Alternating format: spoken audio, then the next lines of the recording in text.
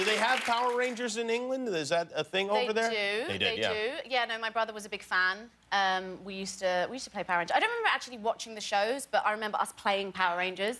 Right. So um, Yeah, so it was yeah, like it was a big deal. Big toy, yeah. It Yeah. was, well, he must have been excited that you. Was he excited that you? Very excited. Yeah. So much so he uh, he just had his stag do, what you would call a bachelor party. Right. Dressed up as the, the Pink Power Ranger. Uh huh. Oh, Yeah. he was dressed as the Pink Power Ranger. Yeah, Did you get him the? Are you actually in the Pink Power Ranger outfit? Oh yeah. Why do you Oh, have to yeah. be? Because you have a mask on and you've got the whole thing on. Why do they make you actually get in the? No, because we have an open mask version. Oh, yeah, and but like- for those, okay, Oh yeah. my gosh, no, seriously, it, they're so tight those suits. Like it's it's pretty crazy. But in this, like the suits have the kind of womanly area I can't take much credit for. I don't know who's seen the suits.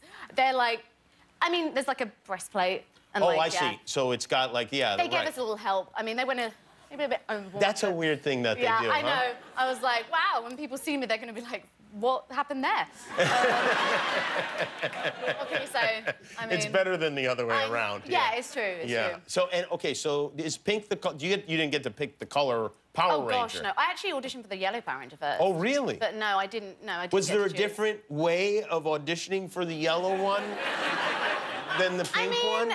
they're just different characters, I guess. So like, I mean, uh, do you know what? I'd be happy with any of the Rangers. I was like, Right. just give me a job, like I'll be fine. But you know.